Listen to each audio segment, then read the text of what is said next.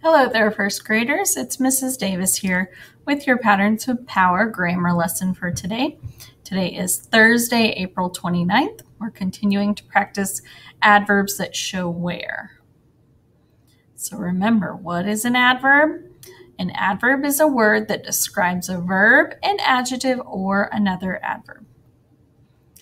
Our mentor sentence this week has been Duck steered the tractor down the lane and out onto the main road. That was from Duck on a Tractor by David Shannon. Down and out were the adverbs in that sentence. So now it's your turn. Show what you have learned about adverbs that show where. Let's see if we can find the adverb in the sentence. Here's our sentence. The friends walked outside. Step one, I would try and find the verb in the sentence. The friends walked outside. Walked would be our verb, our action word. And remember, we're focusing on adverbs. So, where did the friends walk? They walked outside. Outside is our adverb that's telling where the friends walked. All right, here's our next one. I headed upstairs to bed. Think about your verb first. Ooh, headed is our verb. Now we want to find where did this friend head? Upstairs. Upstairs is our adverb telling where. All right, our next sentence says he pulled his wiggly tooth out. Hmm, find your verb first. He pulled his wiggly tooth out. Pulled would be our verb, the action.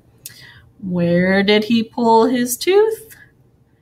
Out is the adverb telling us where. Our next sentence, we cheered when the ball went into the goal. Finding our verb.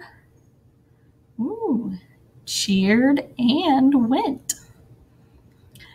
Let's see. Where did we cheer? No, don't have that information. How about where the ball went? There it is. Into is our adverb. We did have two verbs in that sentence, but only one adverb telling us where. All right, friends, last one. The boy reads inside on the rainy day. Hmm, find your verb. That would be reads. Where he reads.